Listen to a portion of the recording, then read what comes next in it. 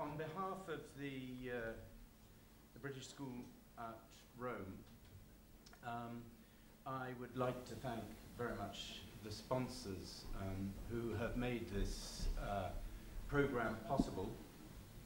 Um, Marina Engel has been the, uh, the catalyst um, and the mind behind the program. Um, I think uh, actually there's, uh, there is an issue of kind of some fragility about the British School at Rome because uh, on the one hand it, it's far away, but actually um, it, it is also uh, easily therefore kind of forgotten. But it's, it's an immensely powerful institution in terms of being a place of, of cultural crossover and fertilization between uh, archaeologists, between uh, historians, um, between uh, those interested in society um, and architecture and the visual arts. It's a very extraordinary institution. Um, it has for uh, many decades um, provided uh, scholarships which have been completely unencumbered um, by uh, or untainted by a kind of uh, anything other than the person's desires to, uh, to actually learn from the great city of Rome, so um, an incredibly fertile territory.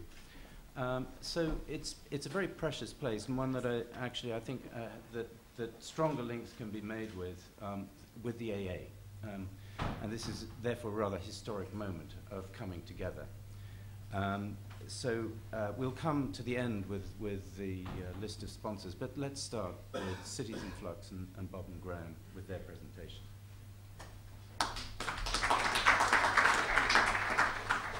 good evening. Um, I'm uh, Graham Morrison. I'm going to share this 10-minute slot with my partner Bob Allies. Um, uh, we're going to do a quick canter through um, some of our London master plans. Our, our city, of course, is London. And um, uh, so I'm going to show you very briefly five master plans, if I, one can do that in five minutes.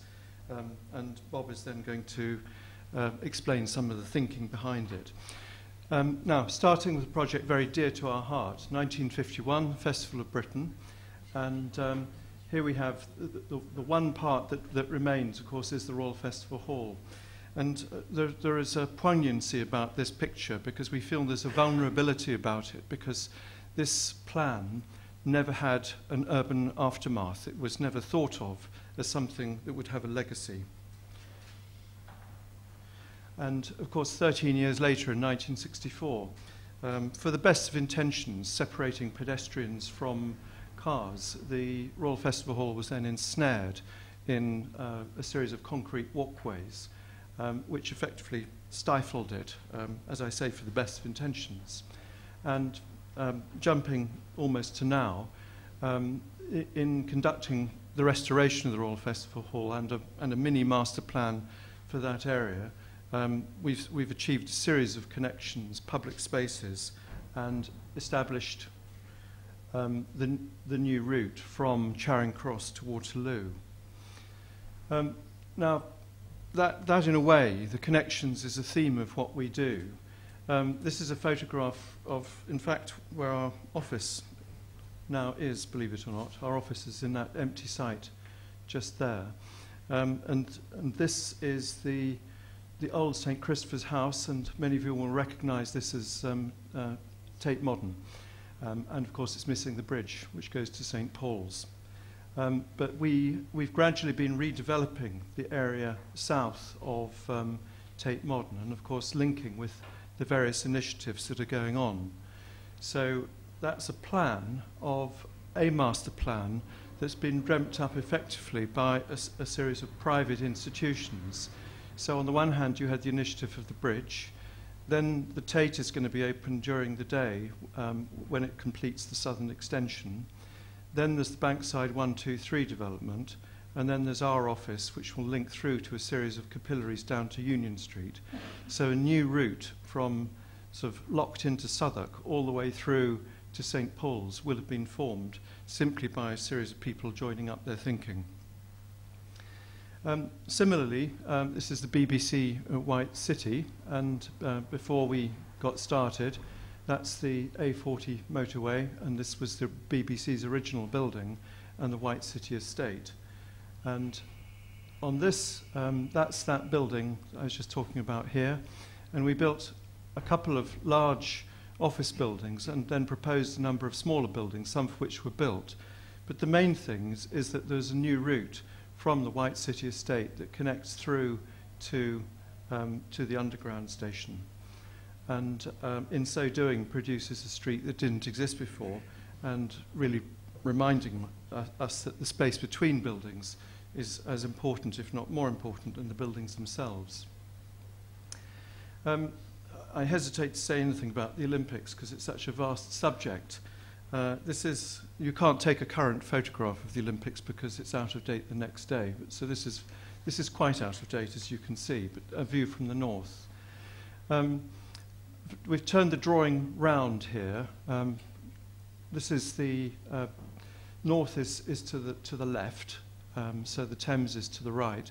But this is the image of the Lee Valley and the Olympic site before anything was conceived, basically a, a whole series of industrial sheds along some derelict waterways. Um, this is the image of the Games, and I'm not going to say anything about this now, really, but for the fact that the intention has been to place most of the major events in such a way that it anticipates a future um, that, that can happen beyond it unlike the master plan for the Royal Festival Hall and the great ex the exhibition of 1951.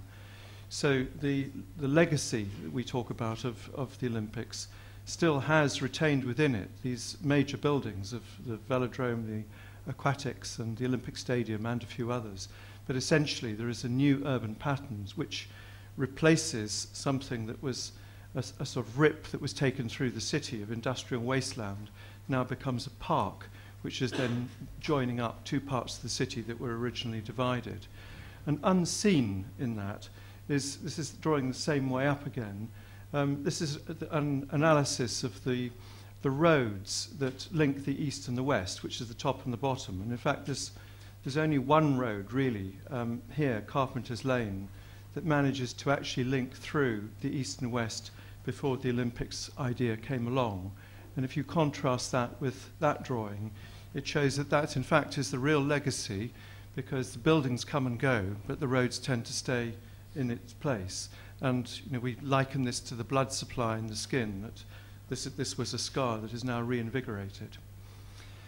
Um, and then uh, my last one is, is really to talk about King's Cross, um, an extraordinary inheritance of industrial, um, uh, an industrial legacy with, with the canal running through it and um, what, what, is, what is now um, uh, the art college here and um, soon to be blocks of flats within the gas holders and so on. But ag again, I've turned the drawing irritatingly the wrong way around, so that's now, that's now facing south and west is to the top of the page.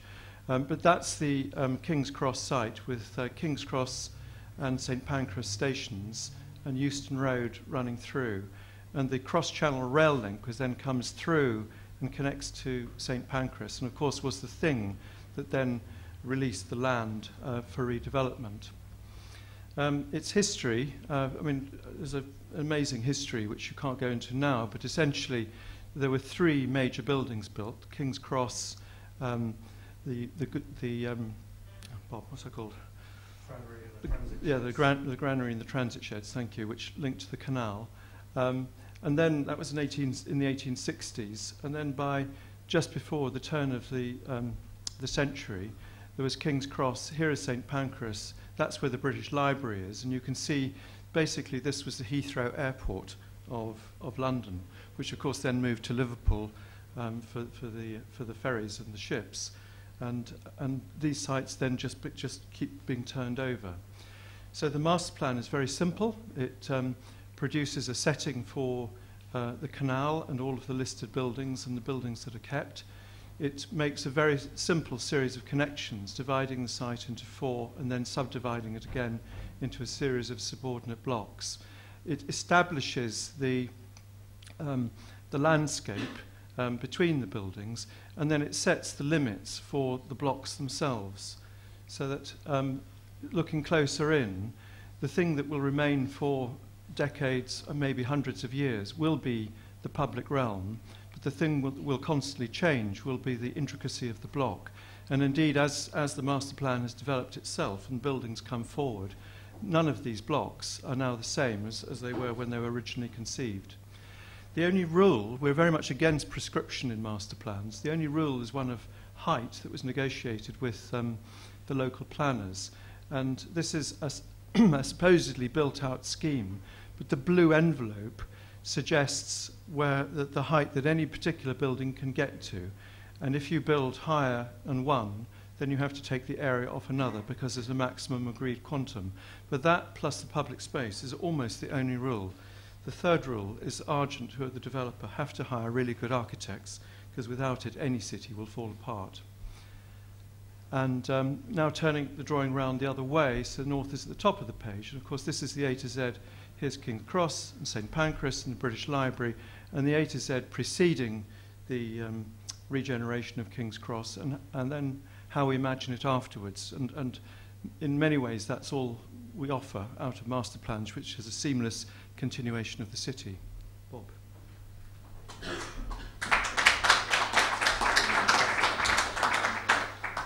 Um, when we were developing material for the exhibition in Rome, uh, as well as showing really King's Cross and the Olympics, we also thought it'd be helpful to try and articulate some of the principles really that, that either we had followed in carrying out these master plans or indeed had kind of begun to understand as we were working through them. So as part of the exhibition we had these series of 12 posters with slogans which were identifying specific uh, ideas really that we wanted to frame in, in the exhibition. Uh, when, I, when we looked at them, to look at them now, I suppose what comes out of, out of that is that some of them are really, what they're really concerned with is, is our view of what makes a good city, if you like, the qualities that good cities have, and therefore the qualities that we would like to replicate within our master plans. But um, some of them are, are not really that. Some of them are more to do with ma the master planning process itself and the sorts of issues which we think are very important uh, within that process. Um, so what I thought I'd do is just really spend 30 seconds or so just talking about four of those issues which are important to us. So the first one, to, which is really to do with the reality of the present, and I suppose the thing to say there is that a, the, the whole purpose of a master plan, of an urban master plan, is actually to, to make it easy for people to proceed, to make the first move, to build the first building. So it's very important that, um, uh, that the, the, the master plan gives gives uh, whoever is carrying out the project sufficient confidence to begin to make that first move. And therefore, one of the critical issues is, is actually the, the plausibility of the buildings that you propose. So we're very keen that within our master plans, the individual buildings are tested, we understand the typology, and uh, we build the master plan out of those so that we have some confidence that people can, can proceed indeed and build the buildings. The, the second sort of move, move in terms of the process of the master plan is to do with what, the master, what context the master plan then provides. And we tend to talk about this idea of the master plan providing a surrogate context. In other words, when an individual building then comes forward within the master plan, there is a kind of understanding about the role that building plays within the new urban fabric, the obligations it has, what its neighbours will be like, and therefore allows the designer you, to begin to imagine how his building might, his or her building might be produced, but also to allow all the myriad of people who are caught up in assessing buildings, deciding what should go ahead, also to understand that building in this, in this virtual context which the master plan provides. The third one, process not product, is really just to say that we, we also critically feel that uh, there's a big difference between a master plan and architecture. You know, the master plan is not, doesn't have that um, uh, single-minded quality that a good building might have. The whole purpose of a master plan is that it's setting forward a process. And it has to therefore have considerable uh, open-endedness, considerable flexibility within itself. And particularly when all our master plans in the end involve many architects contributing. So it's not just us who are going to design the buildings in most occasions, it's a series of different architects. So again, we resist in our master plans, we resist geometries or dependencies between buildings that will constrain individual architects too much. We try and find a kind of looser urban grain which will allow individual architects to work in the future. And then the last one, which is the uncertainty of the future, is, and it's a point that Graham has already mentioned, but I suppose we also feel that a master plan, you know, we're, we're doing it now, it, it's going to take maybe 20 or 30 years to evolve. King's Cross took 10 years to, before it started, from when we started work to the first building starting to be built. It's probably a 20 or 25 year process. So it, it is a long process, but even beyond that, we feel that master plans, in the way they work within the city, have a kind of obligation to keep that um, open-ended quality. In other words, we'd like to think that within the master plans we produce, you can demolish buildings, you can replace buildings in 60 years' time without in any way um, compromising the working of the city roundabout. And that what that really means is being very clear about the distinction between buildings and infrastructure and not beginning to confuse the two. If you confuse the two, there is a real danger in cities that actually the city begins to die because change is impossible, and cities really live off the process of change. Thank you.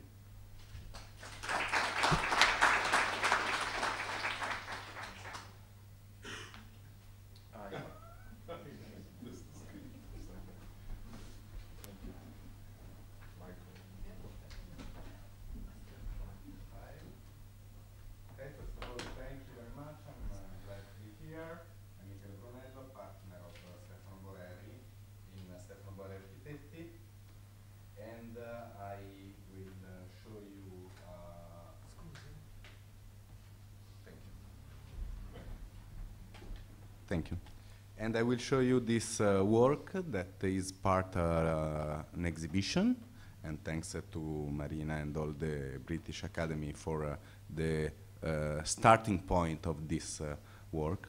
That is part a book that is partly a series of projects and a project that are going to be built or are just uh, in the center of the political discussion of this period of uh, debate in Milano.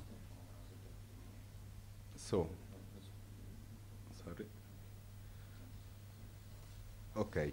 I start with a piece uh, that I wrote with uh, Stefano Boeri uh, about uh, the, the relation between the landscape and the urban body of uh, the contemporary European city.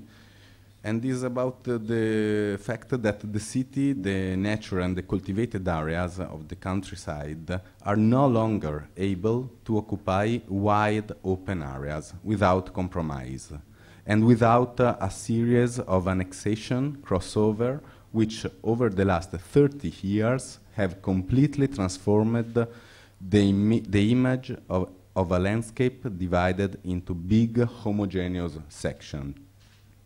The urban sphere, as you can see in this uh, aerial view of Milano, has expanded, pushed by industrial decentralization and the search for land where low-density housing can be built.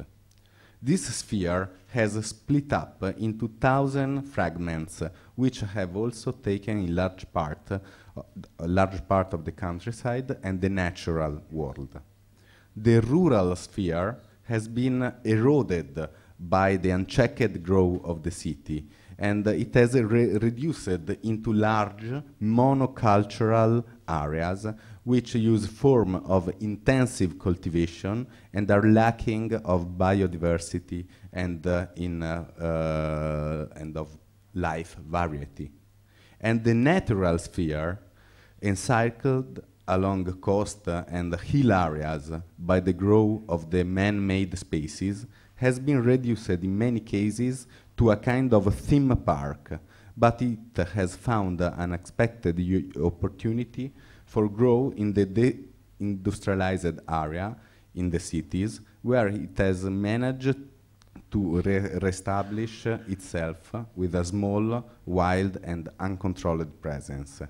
Like the title, in a kaleidoscope, because the contemporary European landscape, uh, we can say that looks like an enormous kaleidoscope.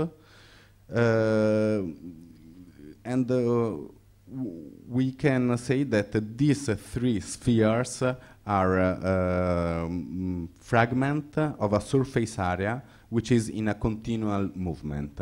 So BioMilano is uh, taking these three categories of natural, urban, and um, rural to create a vision of the future of the city in which Milano is uh, uh, at uh, a crossroad, a contemporary crossroad, that uh, can continue growing by eating the agricultural land, the wood, natural space, and uh, reducing the biodiversity and the space uh, available for other species, or it can choose to become a biodiverse metropolis, starting with a new agreement between the city, the natural world, and the agriculture. So BioMilano what is? BioMilano are six projects that we choose that are not all made by our studio, but are uh, researches of students, uh, um, uh, concept plan made by advisory board uh, of important architects, uh, or uh, simply uh, professional work that uh, tries to, to, to, to, to give you the idea of this state of transition of the city. And BioMilano provide a vision of the city which stop expanding into rural areas and choose to grow by regeneration and by increasing the presence of natural and biological space. BioMilano ha has heart, uh, its, has, sorry, has in its heart the idea of a new kind of agriculture which, which surrounds the city and provides work and produce food for local market, uh, local um, uh, agro-food market.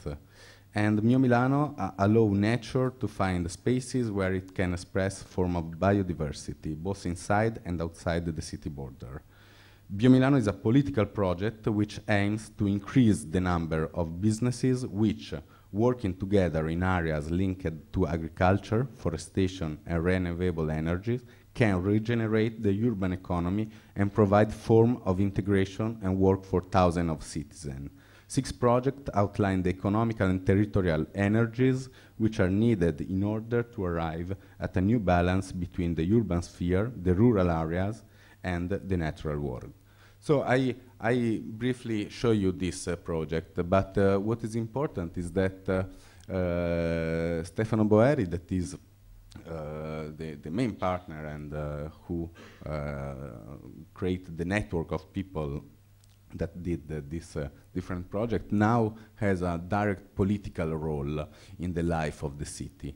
And uh, in the last two years, he decided to, to run, and now he's mm, like the assessore, deputy, the deputy for culture, design, fashion, and also he was about Expo in Milano. He's not yet because uh, you can. He's not yet uh, anymore because uh, uh this um, project that now I will show you as the first project is really in the center of the debate. So you can see this book that was made before his political decisions you can see it as a manifesto, but also like a promise uh, of uh, some political politician, because now he's directly into the political life of the city. And this project that uh, starts like architectural project became in the newspaper like the central debate uh, on the future of the city. So it's very important uh, for for us to understand which are the main points. So Expo 2005 was made a concept plan uh, with the architectural advisory board uh, with uh, Jacques Herzog, Ricky Burdett, who is sit here, Stefano Boeri, William McDonough. And uh, this uh, project uh, is the um, mm, trial to create a new uh, exhibition. We don't have time to explain it uh, in detail, uh, but I only tell you that the plan for uh, Expo 2015 uh, will see an area of empty land to the northwest of the city of Milan, transformed into a huge planetary kitchen garden. Unlike past expos in, this uh, uh, event, every country will have, is not starting the video, but doesn't matter. Uh, this event, um, every country, in this event, every country will have some land which they can use to grow things and demonstrate their use of biodiversity, their use of technology, and the solution they have come up uh, with uh, uh, in order to meet the problem linked to the food and the production of food. Take in consideration that the title of the expo is uh, Feeding the Planet Energy for Life, and we thought that uh, is uh, central to put the, the theme in the center of the project uh, and to create a direct experience for the people who will go there and uh, to uh, um, create also a new kind of uh, monumentality, we can say, that is made by big elements of landscape. sorry. This is the site, uh, and uh, the decision uh, that was made was to create a big uh, channel of water that is giving quality and is also subdividing the site to the external areas that are really uh, densely infrastructured. And uh, uh, this is like a big infrastructure in which there are four main elements uh, after uh, Accardo and Decumano that are the first point of uh, rational sign of a city. Today, this is an agricultural field. So we create uh, Cardo and Decumanos, like the first sign of distribution, but uh, the main elements are landscape elements. So the channel, one lake, one hill, uh, a theater that is uh, like um, a landscape, uh, a land uh, uh, art opera, and uh, uh, to push at maximum the uh, the fact that we want to maintain the a new kind of monumentality that is not made by the competition between countries of the richest, the bigger, uh, and the more most expensive uh, pavilion, but uh, we want that each country show their food culture, creating a food chain. And uh, this uh, uh, approach uh, take the, the, um, the decision to use the open field and not just to create a pavilion with the videos and all of this multimedia stuff that you can see in your computer or in your mobile phone. But we want to create a direct experience uh, of uh, the food for the visitors. So, yeah. But uh, my intention was not to speak about all the project. It was uh, just uh, to, to, to describe this uh, as a really strong politician, uh, po- political and critical project that uh, uh, was uh, quite innovative uh, because uh, each country was facing uh, uh, the, the boulevard at the same, uh, without a hierarchy of rich countries and poor countries uh, in a central boulevard. But uh, the important thing is that this project uh, that was uh, really, uh, I don't know what is happening, uh, well approved by the city and the architects in Italy and not only. After uh, some months uh, was under really the um, discussion of the uh, building power of the city who were saying, what is an expo without building a thousand of square meter of concrete? And uh, it's not possible to think in an exhibition that uh, create a good, uh, attractive uh, place without building a huge pavilion with uh, gold facade and so on. And so now the debate is exactly this, that uh, uh, we uh, were planning, I am just simplify the question, but we were planning a project that maximized the use of the landscape and a light architecture, a light ar architecture, but now it seems that is not possible because the economic uh, world say that is not sustainable and it's better to build many concrete pavilion in this place uh, and uh, maybe because the banks uh, are giving money if you say that uh, you build many square meter of concrete. So this is the center of the debate of these days in Milano, in of this period, and uh, I think it's important when we think in the future of the city to take in consideration that uh, the way in which we, we were uh, planning uh, the, the, the, the, debate on the city on the last uh, uh, 20 years, no?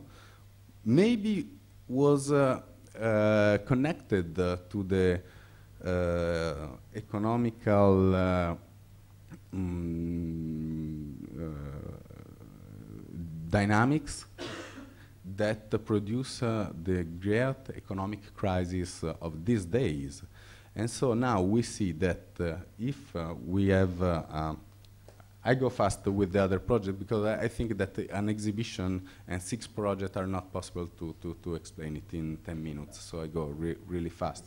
But all of these projects are really based on the approach that we use the economical forces that create some uh, big transformation of the, on the cities to uh, think in a long-term transformation of the city that uh, is uh, uh, creating a transition of Milano to, as I was saying before, to a city that is a, becoming a biodiverse metropolis. So this is the Bosco Verticale that is really uh, a project that uses these economic forces of the market because are housing for rich people, but we use that uh, economic forces to uh, create a manifesto in the center of Milano that uh, is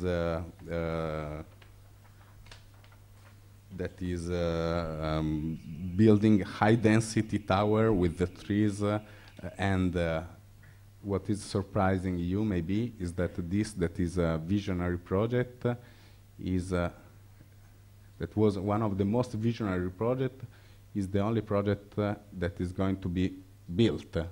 And uh, uh, this is a concept of architecture that demineralize the urban areas and uses the changing scape of the form to live well I mean, is uh, really a, a, symbol. But, but at the same time, we use uh, the same um, process of design to create a wood house that costs uh, 1,200 euros per square meter, so really cheap, uh, taking the woods uh, from the mountain, from the Alps, to create a prefabricated house that can be um, mm, is like an object of design that at a low density um, uh, that uh, from the Alps and the maintenance of the wood create all the economic chain to uh, build the housing, maintaining the wood, and uh, at uh, a low cost um, target. Uh, and uh, has the same design approach of Bosco Verticale.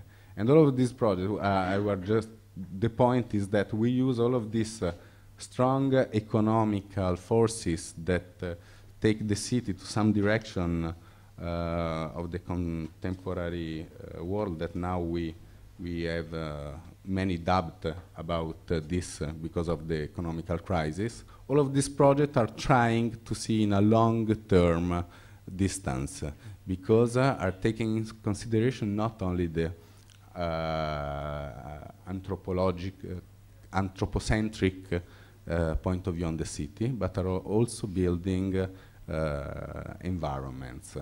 this is an example of well, um, decontaminizing uh, the pollution, uh, planting uh, some uh, some some plant that during 20 years are going to clean the the big pollution areas in the city.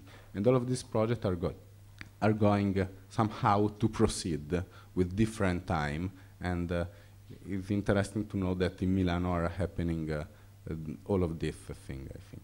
Thank you. We'll, we'll pick it up in the debate. That's yeah. very clear. Thank you.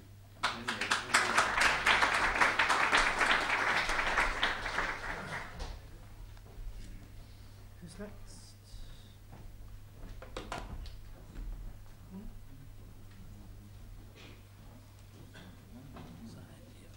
Do you want to start on the back? Yeah. All yours. Does it work? Forward, backward. Forward, backward. And a pointer in the middle. Pointer in the middle. Excellent. Should I start? Should I start?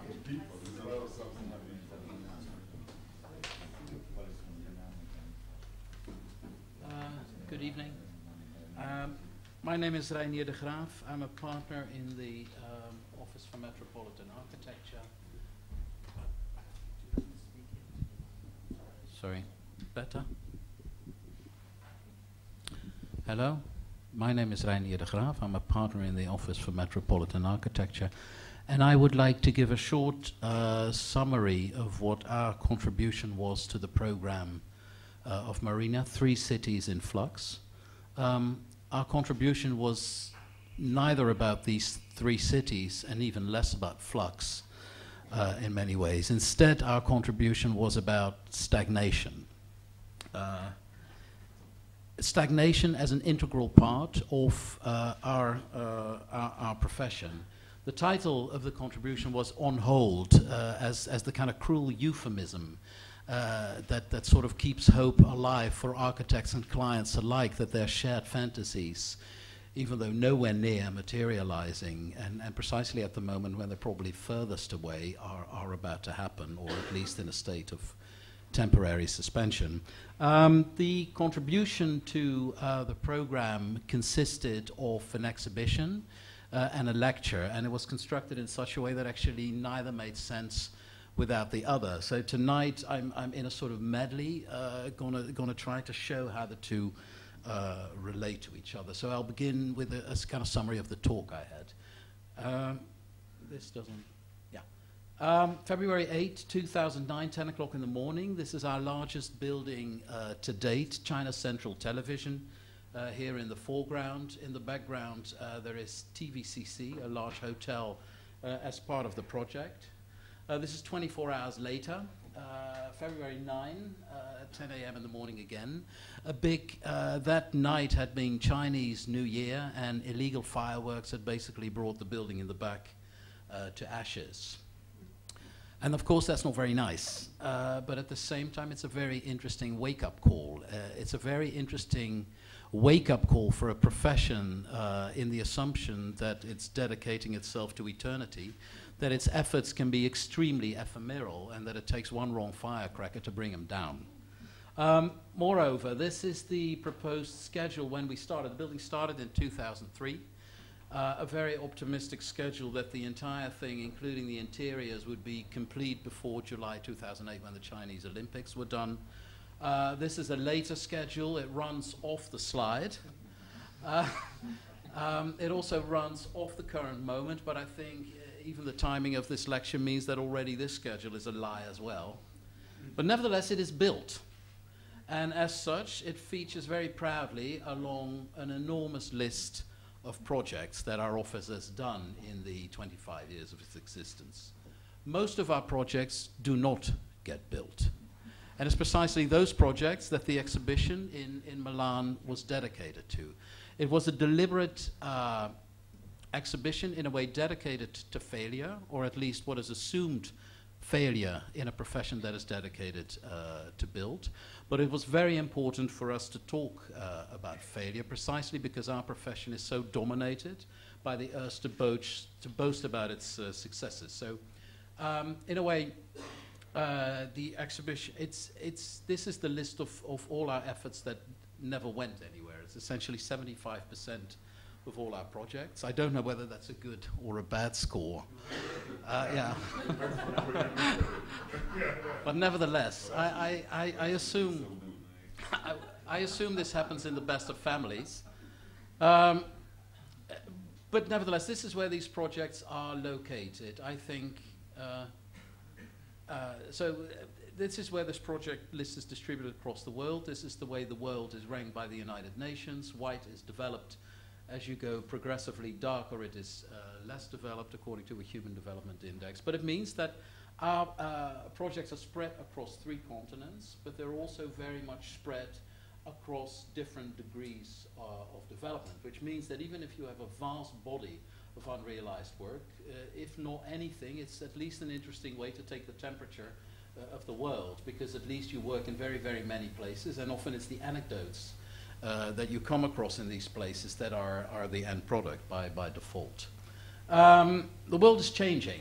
Uh, this is what we find, particularly when working in the domain of master planning. 1950, the 10 largest city, with the exception of, of, of Shanghai, uh, and, and, Tokyo, all located uh, in, in the West, uh, generally rich cities. 2020, uh, not that far away, Tokyo, the only rich and quote unquote Western city left in the top 10. Uh, the primacy of the metropolis, if it was at all at one point a Western invention, the primacy of the metropolis, the metropolis is now a property of the third world. Therefore, it is associated with an entirely different series of propositions. It's associated with uh, problems. It's, it's, it's not associated with uh, wealth anymore, etc., etc., etc. So I think that also constitutes, in a very strange way, uh, a, a, different condition for our discipline, particularly in the domain of master planning. It also constitutes, uh, in fact, it should constitute an enormous amount of responsibility and utopianism uh, in our profession. We used to have utopias.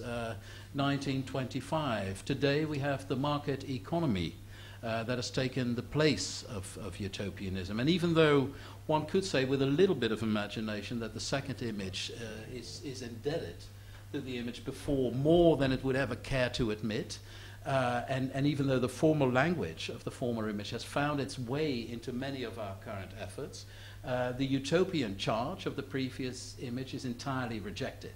To the point that, anyway, the current moment rejects utopias. It rejects blueprints, it, re it rejects methods to construct the cities. And not only uh, does it reject methods, it actually also rejects a lot of efforts that are charged with a certain amount of utopianism. This is the sort of list uh, that was shown uh, in the British school, which are all more, all more or less uh, in a dubious state. They've either been cancelled, then they're on hold. Uh, they're either on hold and then they're on hold. Uh, but I mean, they're all master plans which, in a way, are in a heavy state of, of, uh, of uncertainty. Um, I'd, I'd, like to make a, a, little tour. Uh, this was in 2005. We started to work in, in, in, in Dubai, uh, in a way, happily joined in uh, the exuberance in, in many ways that was prevailing there with bits of sort of corrective uh, urbanism with kind of modest efforts to propose a more sustainable alternative in a city largely dominated by growth and, and by the speed of growth. Politicians, waterfront uh, city, uh, an effort of Nakheel close to uh, Abu Dhabi. Um, later on, uh, uh, a city in, in Ras Al Khaimah, a much less developed emirate further to the periphery, closer to Iran, closer to Oman. Um, actually, a proposal for uh, an almost entirely pedestrianized, uh, sustainable city centered around two valleys in the desert, which you know, for a couple of months of the year actually turned green. Uh, uh, an idea that somebody else fancied to a large degree. Uh, a, a, mountain uh, resort uh, in that same emirate, actually at a very great uh, height, there where the temperature on average was about 15 uh, degrees colder than in the rest of the, uh, the emirate. Now, all of these remained virtual. That's why the exhibition generally with more than a bit of ironic charge, actually took in our form the form of an art exhibition, uh, where in a way these uh, proposals, which were you know by default doomed to remain virtual, retroactively were supplied with a type of originals that they never had. Of course, they were all virtual in the sense that they didn't happen. They were virtual in the sense that they were all drafted in the computer, in the virtual space of the computer. And here, uh, the exhibition took the character, if they were old drawings, uh, charcoal drawings actually dusted up from a kind of an old archive, thereby giving the whole uh, surreal effort a degree of fake authenticity, which uh, seemed kind of vaguely appropriate for an institution like the British School. Um, that's the mountain resort. That's along the steps in the, the, linking the two spaces. This is in the other space. This is the Dubai uh, project. Uh, this is the Ras Al Khaimah project at the far end. Uh, this is actually another project we did in, in Russia, another detour. Uh, this is a master plan we have made uh, for uh, Skolkovo, uh, which is a science city, pretty much in a way in the tradition of science cities as they were produced for a long time in Russia, a kind of Silicon Valley on imposition by the Kremlin. Uh, a city which is meant to be built at enormous speed, meant to be the showcase uh, of, of, uh, of, of state-of-the-art technology, of sustainable technologies, is meant to attract companies uh, to, to reside there in a way to give Russia a kind of high-tech equivalent uh, to, to California. Um, in a way, the interesting thing was that Calif uh, Sil Silicon Valley featured very aggressively as a metaphor, even in the Russian discourse. we thought that was, in a way, uh, sad, precisely because Russia actually has a long series of science cities, which are actually not the result of conditions, but the result of very deliberate uh, planning. Um, so that's the center uh, as it was designed in it. Uh, that is a number of people looking at the center uh, designed in it. Uh, that's still that's still ongoing. Uh, London featured in the exhibition quite prominently as well, so it's not that that was actually the city uh, on the list that did feature, but London also featured uh, in, in, in the exhibition not so much as a city, but more as a kind of uh, case. Uh, as a kind of clinical case of, of, of, of and, and, a, and, and a city with a very particular relation to master planning. The, there we go, London. Uh, the project that featured in the exhibition was a project we worked on for a long time in, in White City.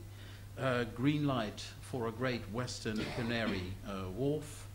Uh, the location uh, close to the premises of the BBC that Graham showed earlier, a tract of land immediately adjacent, which was meant to be, in a way, the last in a necklace, in a, in a chain of developments that encircled London, and in a way, all, as you see here, labeled a kind of Western Canary Wharf. Uh, this is a, a, large tract of actually strangely industrial land relatively in the center of London. This is the border of, of uh, Kensington and Chelsea. This is Hammersmith on this side. So also bordering an area with uh, fairly large land values in a, in a strangely underutilized way.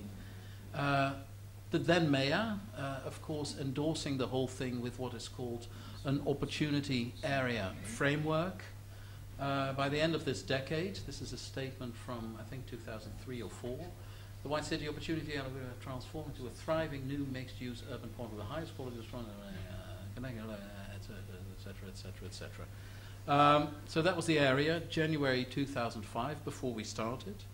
Uh, this is the area, uh, I suspect the way it looks uh, today, in spite of the rhetoric. Um, something happened, in, uh, and this is uh, the current mayor, which has also launched an opportunity area framework for future development. So, in a way, uh, the efforts of the previous mayor resulted in a brief for the new mayor to do exactly the same thing round, and, and these things happen. Um, this is not to say, I say this without any bitterness. Uh, um, but in, in many ways, it is, it is symptomatic what, what happens here, and the fact that stagnation, indecisiveness, and, and, and the real stamina that is actually linked to, to master planning is, is pretty much a universal uh, phenomenon. This is September 2007. The master plan at its peak with the largest possible uh, land uh, at its uh, disposal. And what the exhibition shows is in a series of 13 uh, steps, actually it shows particular moments when actually the area that we planned either increased or decreased and eventually disappeared. Uh, and and, and uh, underneath it is a, is a kind of small little increments of text, which actually are excerpts of a diary that kept track of that whole thing uh, mm. happening. Uh, there you go. It's sort of as boring as possible. In a sense, kind of repetitive minimal art with increments of change. It's the audience. That's the opening.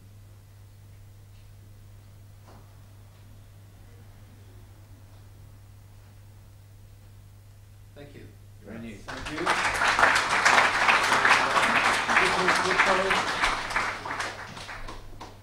I'm so happy I don't have slides to show after Reinier.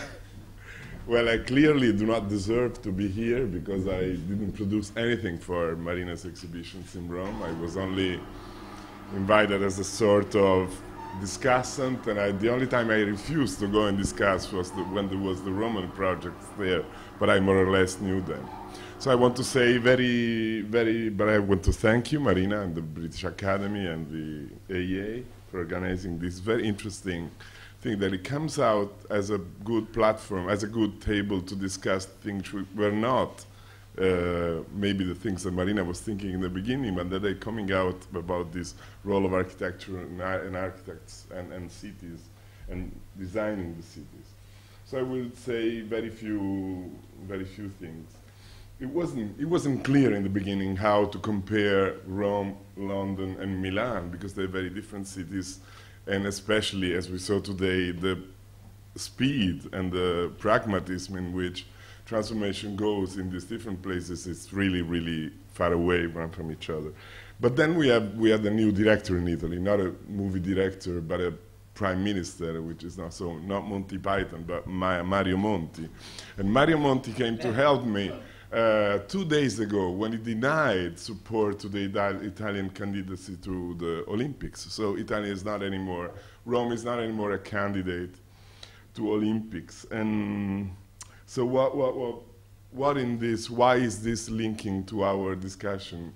Because Monti said he was analyzing very attentively the previous uh, episodes of Olympics, and he, and he, spoke about Athens, of course, because Athens, the Olympics were the beginning of the beginning of the end. But he also spoke about London. He said it's not even London is sure that it will be able to do things and stay in budget in the end. So he, he jumped on our time. And the other, and the other point that was made implicitly by Monti, which is probably having to do also with Milan, it was kind of denying something we've been very much used to. So the possibility to transform cities through the big events, no? the Olympics, the Expo, the big fairs, at least in Italy. So this, there are two, at least two topics which are very much close to our, uh, to our discussion. And where Monti and our discussion comes together is the, about the idea of transformation of mass cities. Reinier was showing uh, the transformation in the hierarchy of metropolis. Metropolis grow through mass growth. No? So Europe and, and the Western world is not growing through mass growth anymore. And when, when, and when uh, Western cities were growing massively, architects would, were used to design the future through massive housing for the people. So this is what we are lacking, and this is why we are in, uh, questioning ourselves about our role today.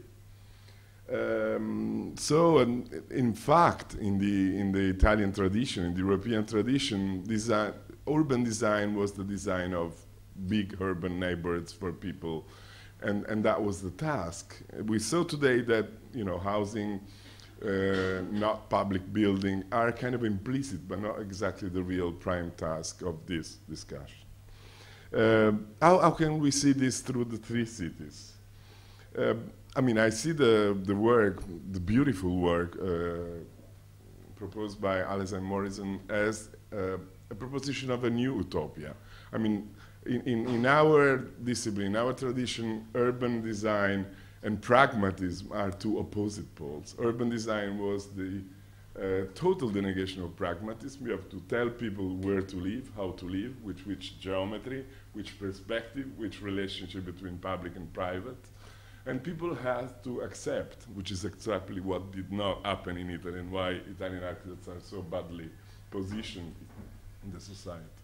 Prague in, London is a city which has been growing with not real big plan no, for its growth, uh, which is growing on this idea of pragmatism. So maybe this is a discussion we can do in the future. Can, it, can, it, can we talk about something like a pragmatic urban design, which is what we have seen?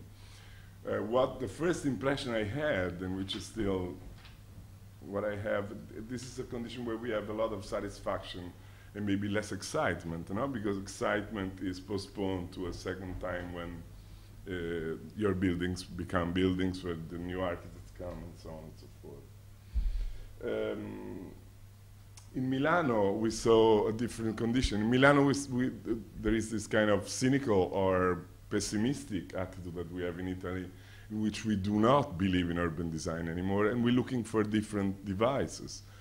Um, the devices which were showed by Michèle, which are proposed by Stefano in the last years, is this idea of uh, bio, urban agriculture, um, the green presence in the city. And I see one good thing and a, a one bad thing in this. The good thing is, is that it is clearly an alternative thing. It's the idea of redesigning the city through one specific approach and using it as an alternative uh, manifesto, no? utopistic approach. The bad, the bad impression I have, I mean, I'm, I'm, maybe more cynical than the average Italian architect, but I was discussing this issue with Michael Sorkin in New York. As you know, Michael Sorkin is obsessed with this plan, new master plan for New York. He's been designing for the last eight years, and he will design probably for the next two. But then I, then I asked him, so what, what's, the, what's the result? I mean, he, he considered the city frozen today, no more buildings, using all the open space he has in his plan to cultivate. And, and I say, how much do you cover? And he told me 2%. So I say, so what is it? what's the point? No?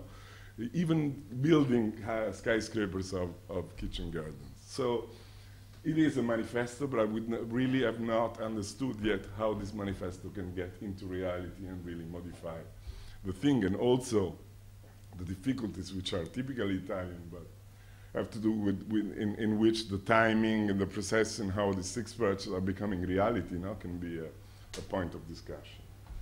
In Rome, we saw, you haven't seen Rome, but the Rome project was a typical topic of the Rome architects, which is to focus on these large archaeological uh, area in the Fori and to redo the Fori. I mean, we've been redoing the Fori for the last 140 years after De Vico, we did the first design for the uh, archaeological area. And the idea was how to connect this large open air, beautiful museum to the city itself and to make it work be better, and how to connect these 10 million tourists we have every year with the city itself, and so on and so forth. And, and also in this case, I, I see two point of views possibly direct, directly opposed. I mean, it's a good idea because as, as Green in Milano, archaeology is a specific topic that could be thought as a, a tool, a device to rethink Rome uh, in, a, in a completely different way, no? to approach the idea of the transformation of the city uh, from a different point of view and using different tools and different devices. But then the, the, the, bad part of it for me is why, why then only the archaeological uh, central area? Archaeology is so interesting in, Italy because it is everywhere. Why don't we go look for archaeology in the suburban and leftover areas in the third, fourth, fifth, and sixth uh, landscape we have in the city? So, so why focusing on the only place which is already probably the best part of the city working very well for or badly for tourists, but then who cares? I mean, it would be, I think, more interesting to use archaeology as an everywhere uh, device to try to rethink a new approach to urban design. So to conclude, I think two are, two are the, the questions I would leave to the discussion. Uh, the transformation of the city needs some sort of bulk, no? in its money, in its people who need new housing. Uh, is there this bulk today? Do we have the money to think of it? We have to re, as, as Reinier was kind of emphasizing through the failures, I mean, we would be happy with 10% of the failures in Italy uh, of, of, of, of, his office, but I mean, wh where is the bulk? Which is the mass, where, where is the moment when architects and people meet and discuss together their targets and work together, and the architect can give answers to the people's questions. And the second question is, again, and I, have been shocked by this also in, in US last week, is this kind of comeback of urban design. Uh, how can we think again the possibility of urban design? We have learned in the last 20 years to live without urban design, no? considering the building as events or the city as a series of events or kind of situationistic approach. Maybe the, the three mm, points we saw today are maybe good points to start a discussion about this and see if there is a possibility to think about the future of the city. But it has to be a very elastic discipline because we will go from cities that we will grow millions and millions every year to cities that will, will not grow, that we only have to regenerate and rehabilitate. And this talks about the ne necessity of being elastic, no? Flex flexible of our discipline and what should be actually done in an architecture school. Grazie.